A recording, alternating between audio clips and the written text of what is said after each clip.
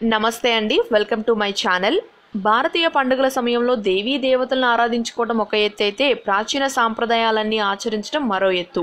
వినాయక చవితి నాడు పత్రి పూజ సంక్రాంతి నాడు పశువుల పూజ దీపావళి నాడు బాణాసంచా పేలుడు ఇలా ప్రతి పండుగతోనూ మనం తెలియకుండానే ఆచారాలని కొనసాగిస్తూ వస్తున్నాం.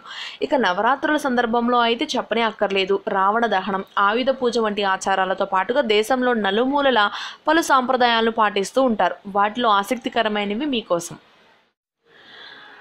దక్షిణ భారతదేశంలో నవరాత్రులు తొమ్మిది రోజులు అమ్మవారిని కలశ రూపంలో ఆరాధించే సాంప్రదాయం ఉంది. కానీ ఉత్తర భారతంలో ఈ ఆచారం మరి కాస్త విభిన్నంగా కనిపిస్తుంది. ఘటస్థాపన పేరుతో సాగే ఈ క్రతువులో కుండలో మట్టి పోసి దాని మీద బార్లీ గింజలు చల్లుతారు. తొమ్మిది రోజుల పాటు ఈ ఘట్టాన్ని అమ్మవారిగా భావించి పూజిస్తారు. ఇక నవరాత్రులు ముగిసిన తర్వాత ఆ బార్లీ మొక్కలను ప్రసాదంగా పంచుతారు. ఈ క్రతువుకు రెండు కారణాలు కనిపిస్తాయి. ఒకటి వ్యవసాయాన్ని శాసించే ప్రకృతికి ప్రతీకగా అమ్మవారిని భావించడం రెండు సంతాన సాఫల్యానికి అమ్మవారి అనుగ్రహం అవసరమని నమ్మకం.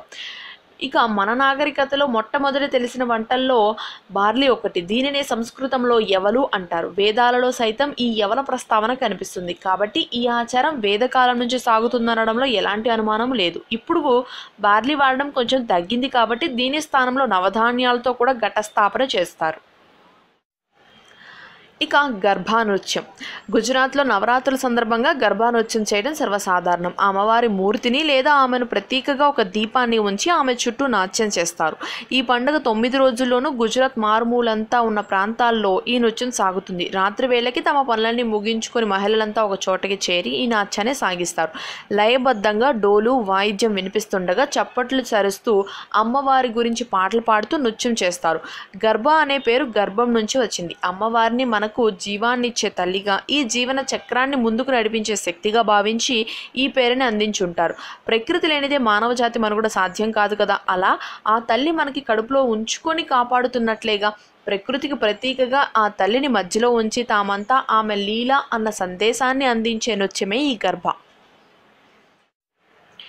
ఇక గోలు. బొమ్మల కొలువు అనగానే మనకి సంక్రాంతి గుర్తుకు వస్తుంది. కానీ తెలుగు రాష్ట్రాల్లోని కొన్ని ప్రాంతాలతో పాటుగా కర్ణాటక తమిళనాట ఈ నవరాత్రుల్లో కూడా బొమ్మల్ని కొలువుగా తీర్చే సాంప్రదాయం ఉంది. ముఖ్యంగా తమిళనాట బొమ్మల కొలువు అంటే నవరాత్రుల్లోని పేర్చే బొమ్మలే.